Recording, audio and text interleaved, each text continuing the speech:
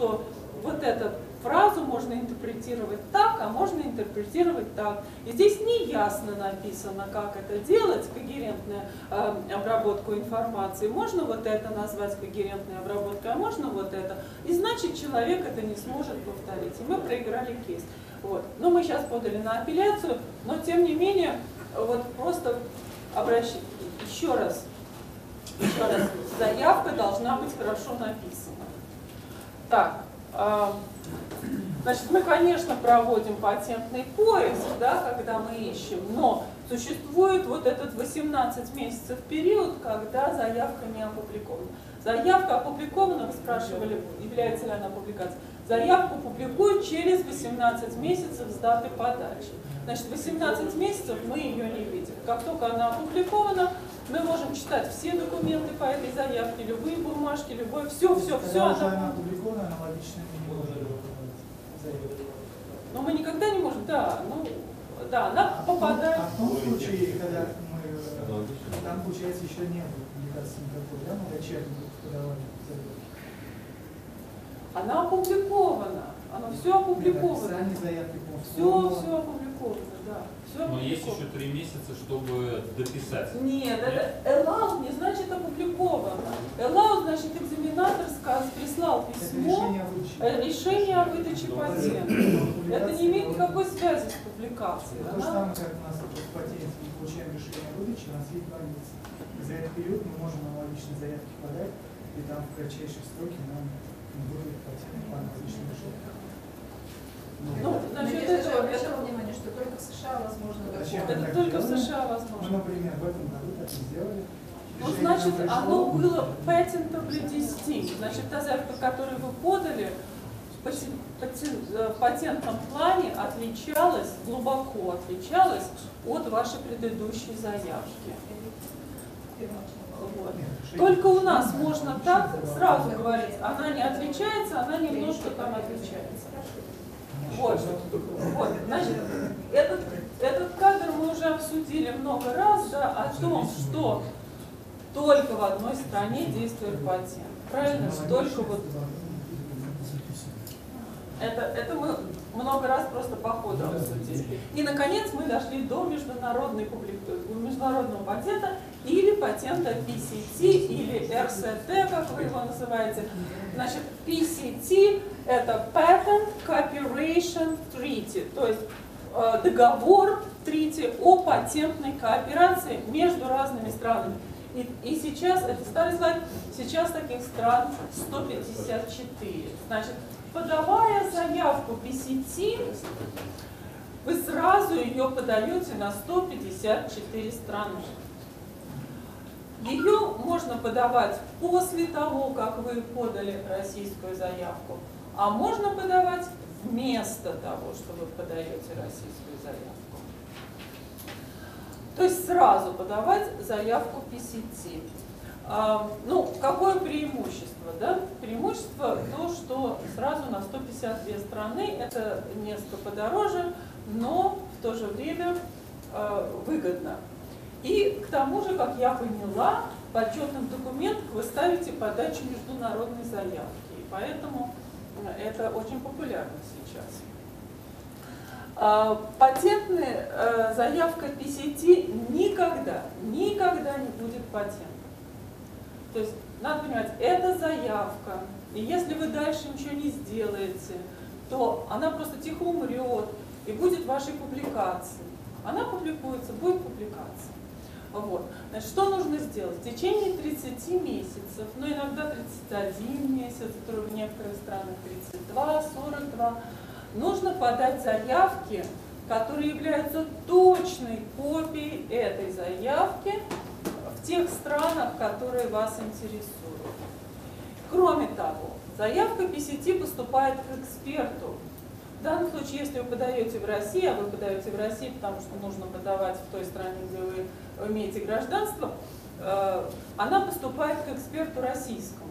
И российский эксперт анализирует э, эту заявку и выдает заключение, это written opinion of expert, это э, письменное заключение эксперта о том, патентуемо оно или нет. То есть у вас уже на руках бумажка, патентуема или нет. И если у вас все очень хорошие результаты, то есть эксперт сказал, что патентуемо, это уже такой, дает вам некоторую уверенность, что можно идти, э, идти дальше. Да? И я думаю, что во многих смыслах имеет смысл подавать именно PCT заявку, чтобы в дальнейшем понять, на какие страны вы хотите, да?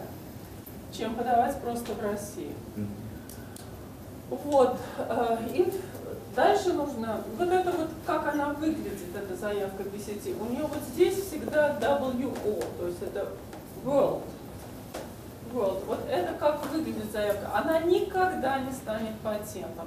Только если вы подаете в разных странах, то есть вы платите деньги опять за национальную подачу в разных странах. То есть сначала вы платите за PCT, но оно дает вам отстрочку 30 месяцев. Вы приходите к инвестору и говорите, я уже подал на 154 страны. Но это вот.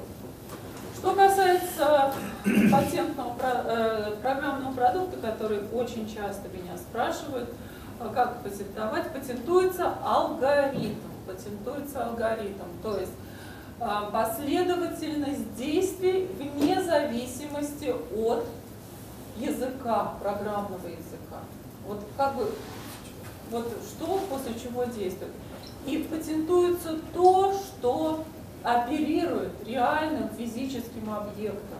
То есть вот я прямо со своего мобильного телефона раскладываю диван, да, одна стенка сюда, другая сюда, третья сюда, у меня уже разложился диван прямо с мобильника. Вот это патентуемо. Или вот э, второй пример я хочу привести. Вот у нас мы патентовали для компании Вимана, очень известная российская компания, квадрокоптер для перевозки тяжелых грузов, и у него такие закрылки открываются. И вот э, у командное управление, поскольку это дрон, он вообще весь на программном продукте работает. Вот это открывание этих закрылков при посадке, да, это патентуемо, потому что сами закрылки уникальны. То есть вот эта связь с уникальностью технического решения. Если это просто комбинация сервера, компьютера и и, и клавиатуры, ничего уникального в этой комбинации нет. Поэтому писать IT, в которых действуют только вот эти три предмета, не годится, не пройдет. Э, Но, тем не менее, рост, э, рост э, заявок на программные продукты управления просто феноменальный. Естественно, растет быстрее всего чего угодно. Так. Не устали? Хотите перерыв или как? Нет, нет, все нормально, давайте. Нормально? Если вы не устали. То есть этот вот э, э, алгоритм, они PCT надо сразу сказать, потому что в российской юрисдикции алгоритмы не патентуются. Я не уверена. Вот, У нас вот патентуется. Патентуется тоже. Блок-схема Да, у может нас быть элементарно способ. запатентована. У нас тоже Последовательно. Ну а ты, получается, с этим способом ты не, не выскочишь в PCT, получается. Почему не То выскочить? и так способ только. Это Но если ты его как алгоритм патентуешь, то ты сразу подашь PCT. Напишите Почему? алгоритм, Это алгоритм способ это тем способ. Мы не патентуем алгоритм, мы говорим способ делать А, что-то. Да. И, и по сети тоже способ делать что-то. Способ управления обжигом каких-то там калиевых э, этих. Это, в принципе, Да. другое название алгоритма. Да, то есть вот Это способ обжига в такой-то доменной печи каких-то калиевых агломератов в принципе патентуем, хотя это алгоритм управления печью. Потому что там нужно засыпать этот вот, физический объект. Если вот сам вот этот процесс новый, и, соответственно, управление новое, То то есть это должно быть в названии написано, что это способ, или это как-то... способ. А, а вообще все патентные объекты это либо способ, либо устройство, либо система. Других не бывает. А система тогда это что? Система это когда у вас э, вот э, машина это система, потому что там есть там, Более вот, сложный Да, более сложно. Он состоит там и То есть машина это колеса. все-таки система. Ну, машина все, что так. сложное, это Система это датчики, ЭБУ и исполнительный механизм. Да, А. это уже система. То есть это не только Обратной связи. А почему тогда это не устройство? Вот, значит, Система это смотрите, устройство. Это технический объект, который обязательно. Значит, что, А способ это технология. Да. Как Что на самом деле э, довольно интересно э, в США. Э, Известно, что в России, как и в Европе, как и, и, и всех остальных странах, кроме, кроме,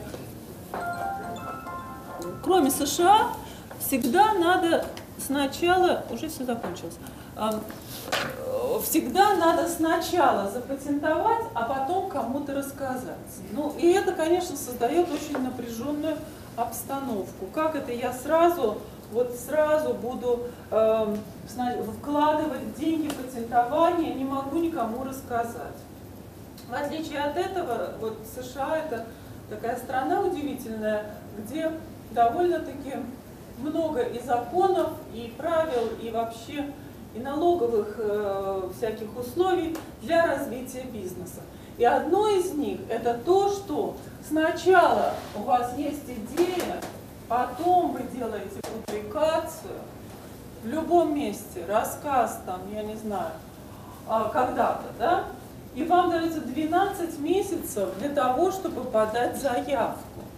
Причем можно подать не, не только заявку, можно подать предварительную заявку, так называемую provisional application.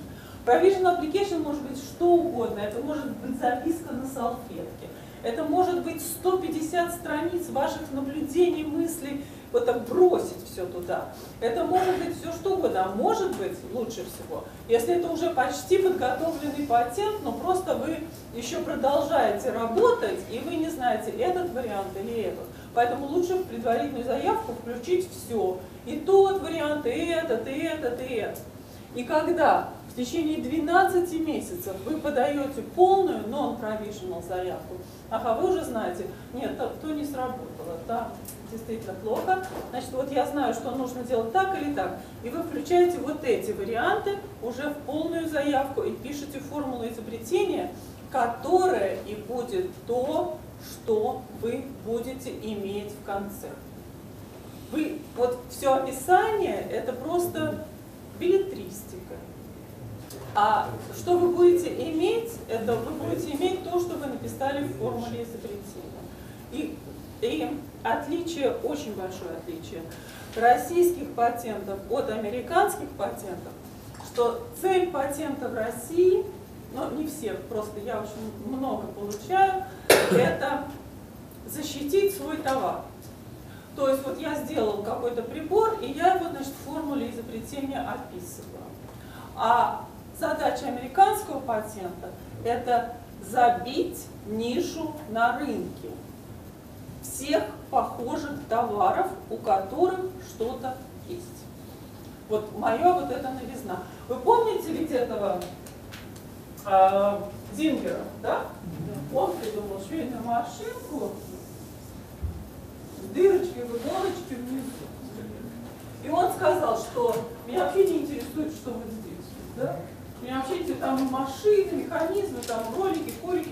Вот, а, значит, а, вот любая, у которой иголка с дырочкой внизу, это мое изобретение, и вы должны платить э, мне э, роялти. Кстати, откройте, не поленитесь, Google и прочтите про человека по имени Зингер.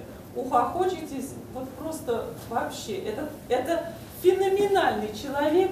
По-моему, у него в итоге там 28 или 29 детей с какими-то э, ужасно запутанными историями, с женщинами, с э, партнерами, с изобретениями. В общем, все у него все хорошо в итоге получилось, но я э, должна про него написать как-нибудь э, в один день. Вы прочтите, пожалуйста, получите удовольствие. Да, так вот, значит, мы формируем формулу изобретения и подаем вот это вот на этом этапе non-provisional application. А, примерно три года проходит, пока мы получаем патент. Там экзаменуют и так далее, и так далее. Существует такая гениальная вещь, как ускоренное экзаменование. Ускоренное экзаменование примерно происходит в течение года. То есть вы через, уже через год после подачи американского патента получаете, э, за, американской заявки получаете патент. И это бесплатно, если один из ваших авторов старше 65 лет. А такое довольно часто. Потому что в коллективе авторов кто-то бывает старше 65, и вы вместо этих безумных трех лет вот, получаете уже через год. Вот. Ну, что касается заявок, э, заявок вот этих европейских и ну, в PCT не, не через Америку, а через Европу, через Россию и так далее, значит, э, вы должны всегда подавать патент до того, как вы что-то публикуете или с кем-то делитесь. И это создает определенные неудобства. Итак, вот наконец про то, что. Значит, что мы, какие у нас есть пути подачи заявок. То есть мы сначала подаем в родной стране, потом подаем заявку PCT на 154 страны, и потом по прошествии 30 месяцев от даты подачи в своей стране мы подаем в каждой стране, в которой нас интересует, будь то Германия, Китай, Япония. Ну, традиционно мы подаем в Европейский Союз, в США, да, и Китай, и Канаду, Австралию. Эм, значит, вот в некоторых странах не надо переводить. То есть национальные заявки подаются на национальном языке. Вот. И в Европе, Канаде, США, Индии, Израиле, э, Австралии, Новой Зеландии можно подавать в Сингапуре, можно подавать на английском. Это очень удобно, потому что очень большая стоимость переводов. Например, японский, китайский, ну, общем, там надо до 2000 все это выливается, эта стоимость перевода. Вот, то есть мы часто выбираем, так сказать, по наименьшим затратам. Иногда мы делаем так, мы получаем российскую заявку и сразу подаем ее в США.